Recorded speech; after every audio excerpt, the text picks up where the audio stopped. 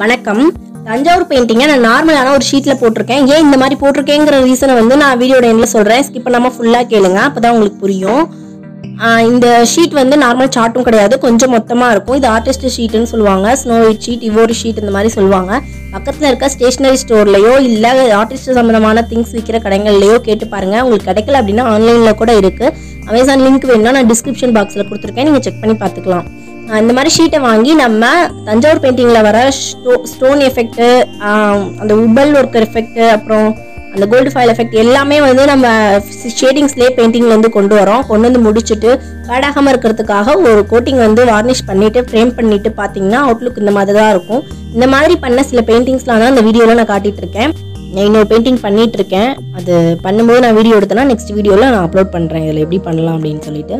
நான் லாஸ்ட்ல ரீசன் சொல்றேன்னு சொன்னேன் எதுக்காக இந்த மாதிரி கார்டில் பெயிண்ட் பண்ணலாம்னு சொல்லிட்டு. அது வந்து நிறைய பேர் வெளியே நிறைய இடத்துல தஞ்சாவூர் ஓவியங்கள் பார்த்துருப்பீங்க. உங்களுக்கு ரொம்ப பிடிச்சிருக்கும். வாங்கலாம்னு கூட ஆசைப்பட்டிருப்பீங்க. ஆனால் காஸ்ட்டை ஏற்றுட்டு கொஞ்சம் தங்கியிருக்கலாம். அந்த மாதிரி யாராவது தங்கியிருக்கீங்க சில பேர் அப்படின்னா அவங்களுக்காக ஒரு சின்ன டிப்ஸ் தான் அந்த இதில் சொல்லியிருக்கேன். இந்த மாதிரி கூட பண்ணலாம் அப்படின்னு. ஒரு சின்ன ரீப்ளேஸ்மெண்ட் தான் இது.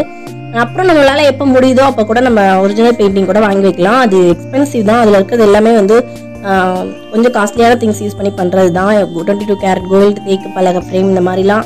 ஏன்னா அதுதான் அதோட ஒரிஜினாலிட்டியே அதோட ஒரிஜினாலிட்டியை மாற்றினா அதோட வேல்யூவும் மாறிடும். அப்படின்றப்ப அதுதான் அது தஞ்சாவூர் பெயிண்டிங்னா அப்படி தான் இருந்தாலும் எனக்கு தெரிஞ்ச சில விஷயத்த உங்களுக்கு கூட ஷேர் பண்ணியிருக்கேன் நீங்கள் பிடிச்சிருந்தா நீங்கள் இதையும் ஃபாலோ பண்ணி பார்க்கலாம்.